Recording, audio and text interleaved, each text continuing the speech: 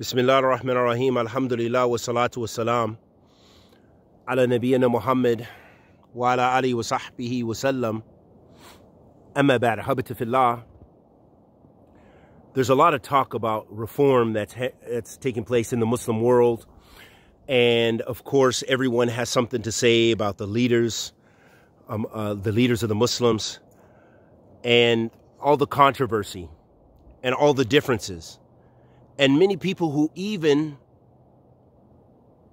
adhere, bi'idnillah ta'ala, to the manhaj of Ahl Sunnati wal Jama'ah amuman, you know, they have not just questions, but many of them, or some of them, tend to spend their time and their effort speaking about the Muslim rulers or plain and simple declaring them not to be Muslim and making takfir.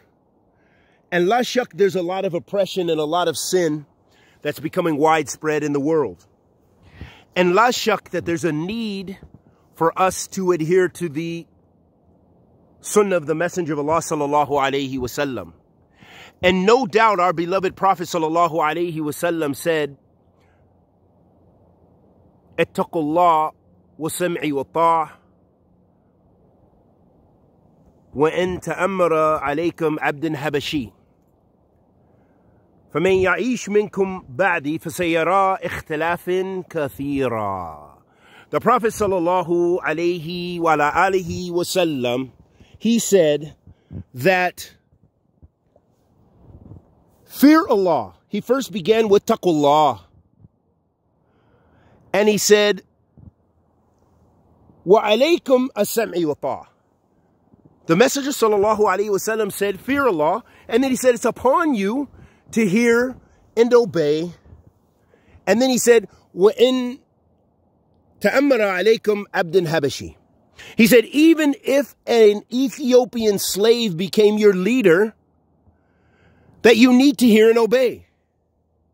Letting us know that that leadership, as long as the person is a Muslim, and they have become the leader through some legitimate Islamic means, then we have to hear and obey them.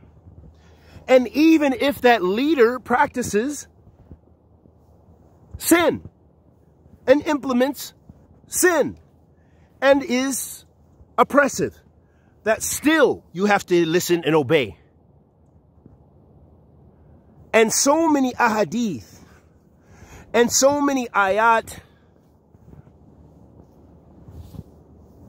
affirm this for us. And affirm this for us as not just an affirmation, but as a principle of Ahlul Sunnati wal Jama'ah. The Prophet ﷺ said, أسمي طال مري المسلم فيما يحب وكره ما لم يؤمر بمعصية فإذا أمر بمعصية فلا سمع ولا طاعة The Prophet alayhi salatu was salam said, Hear and obey the Muslim leader أسمع وطاعة مري المسلم فيما يحب وكره For those things which you love and those things you hate ما لم يؤمروا بمعصية As long as he does not command you to do disobedience to Allah. And if he commands you to do disobedience to Allah, there's no hearing and obeying in that command.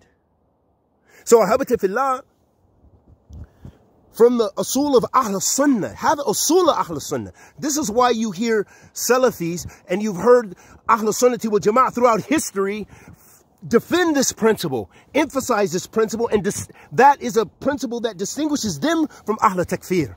And that is a, a principle that distinguishes them from the extremists. And that is a principle that distinguishes them from Ahl Bid'ah.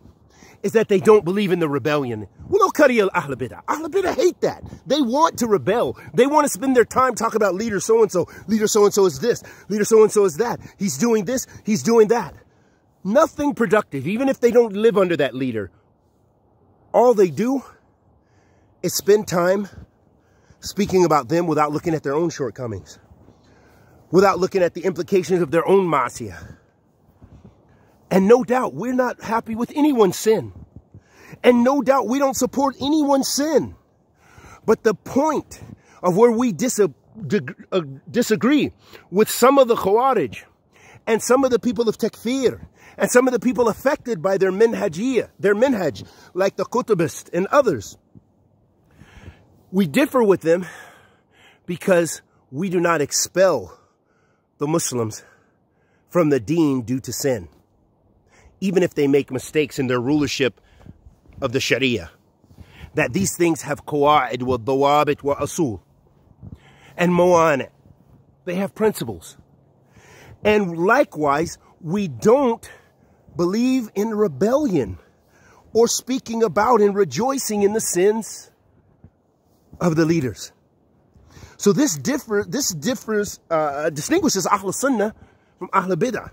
So going back to the hadith that we mentioned, the Prophet ﷺ said that the ones who lived after him, فَسَيَرَى اخْتِلَافٍ كَثِيرًا They're going to see many differences. Many differences. And that's what we see. We see so many differences. We see so many things happening in the world. And we see so many people who are belittling the minhaj of the Salaf. So many people who have new ideologies, putting posts on Twitter and, uh, you know, to all of their followers around the world and this and that and the other. Hey, the Salaf had their interpretation, but it's okay. That doesn't restrict us from having new, new interpretation, basically. And you see the danger and where that leads. You see the danger of this fikr and where it leads. Likewise, even these same individuals that make these types of posts and statements, they've been on bid'ah for years. And Ahl Sunnah has been refuting them for years. But most of the people don't want to listen to that. And that's okay. Because all, inama alaykum balagh. It's only on Ahl Sunnah to, to give you the evidence. And then keep practicing the Sunnah. Not to dwell on those issues. But, ahabatifillah, I want you I want us to understand the importance of adhering to the usul of Ahl Sunnah. And that it's not based on our hawa and our desires, or that we're defending sinfulness, or that we defend wickedness. We're displeased with sinfulness and wickedness. But we don't believe in rebelling against the sinful and wicked ones. Nor do we believe in sitting around and eating their flesh. Nor do we find it productive and we see that it leads to shar. هذا منهج السلفية هذا منهج أهل السنة والجماعة and I challenge you anyone who goes against that to go to the books the codified books of the Salaf not examples individual examples yes there were some Salaf some from the Salaf who made mistakes and rebelled against leaders even from the Tabi'een but that doesn't make it the usul of Ahl Sunnah nor did that, does that make it correct. Nor does it mean that their ijtihad was in accordance with the sunnah of the Messenger of Allah sallallahu alayhi wa alayhi wa sallam.